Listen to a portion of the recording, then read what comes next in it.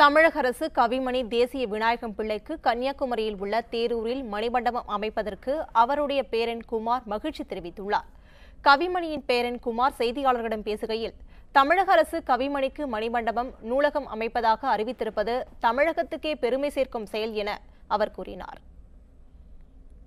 கவிமணிக்கு பெருமை சேர்க்கும் மேலும் பெருமை சேர்க்கும் வகையில் தமிழக முதல்வர் அவர்கள் சட்டசபையில் அவர்கள் மணிமண்டபமும் நூலகமும் அமைக்கிறதற்கு அறிவித்துள்ளார்கள். மேலும் கவிமணி தேசிய தேசிய விநாயகம் பிள்ளை அவர்களின் அஸ்தி மண்டபம் எங்கள் குடும்பத்தாரால் அவருடைய கு- குலதெய்வ இடத்திலிருந்து நாங்கள் இன்னும் பராமரித்து அவர்களை இன்னும் புதிச்சு வருகிறோம். இந்த கவிமணி தேசிய விநாயகம்பிள்ளை அவர்களுக்கு மணிமண்டபம் ஒரு கோடி ரூபாயில் அமைந்ததற்கு தேரூருக்கும் குமரி மாவட்டத்திற்கும் இந்த தமிழக மக்களுக்கும் பெருமை சேர்க்கும் வகையில் உள்ளது.